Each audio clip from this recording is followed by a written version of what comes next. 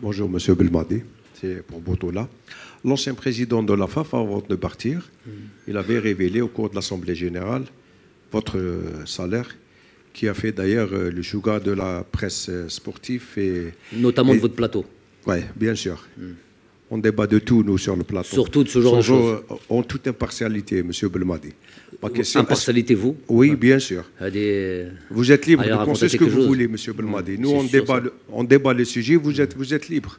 On ne vous oblige pas à nous regarder, vous pouvez zapper. Vous allez vous enfoncer là. Oui, oui, il n'y a pas de problème.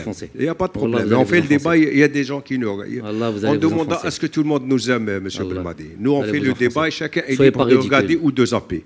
Moi, je voudrais juste vous revenir. Est-ce que cela vous a perturbé ou pas, Monsieur Belmadi C'est quoi votre salaire, vous Mon salaire Ouais, Vous voulez parler de salaire C'est quoi ces Mais histoires-là c'est pas moi qui a révélé. C'est l'ancien président de la fédération. Je vous ai dit au cours de l'Assemblée générale.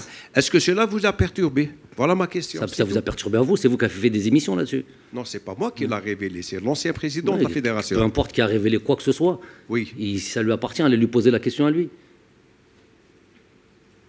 C'est vous que ça perturbe, c'est vous qui faites des émissions là-dessus.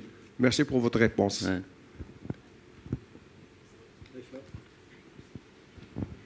Salam alaikum, coach. Soyez pas mal poli en posant des questions avec un chewing-gum et avec, un- avec un petit sourire comme ça. Sinon, je vais être mal poli moi aussi. Ne mettez- Laissez vos doigts où il est.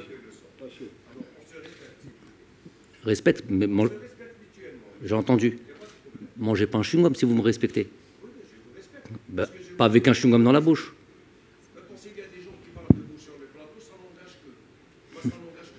C'est pas parler ça. Salam alaikum. Ça c'est vomir, ça c'est pas parler.